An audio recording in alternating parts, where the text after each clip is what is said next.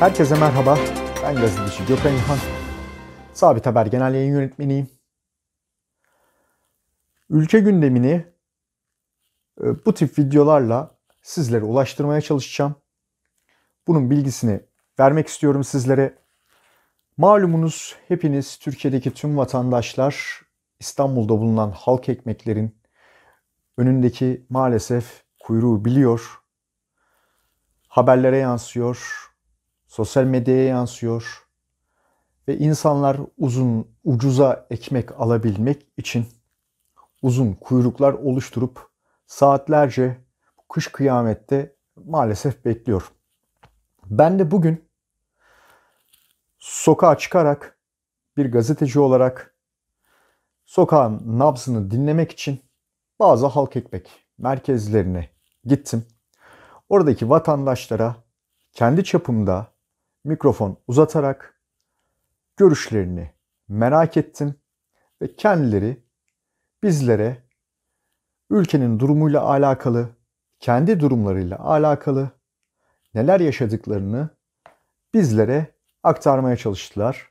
Yani bir nevi dediler ki sizler gazeteciler, gazeteler, haber siteleri sizler bizim artık sesimiz olun. Sizlerden bunu istiyoruz. Lütfen ilgili insanlar sizlerin sayesinde bizlerin sesini duysun diye görüşlerini bildirdiler, görüşlerini aktardılar. Ben sözü fazla uzatmak istemiyorum.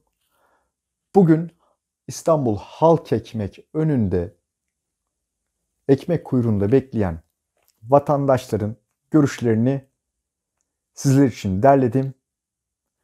Bir sonraki videoda görüşmek dileğiyle esen kalın. Şimdi sizleri videoyla baş başa bırakıyorum. Her gün market geziyoruz yani. Her gün. Acaba 5 kuruş orada ucuz mu? 5 lira orada ucuz mu? Gidip gelmediğimiz yer kalmıyor. Sabahtan akşama kadar da onun şeyini. Zaten doğru bir şey alıp yiyemiyoruz, içemiyoruz. Yani halimiz ortada yani.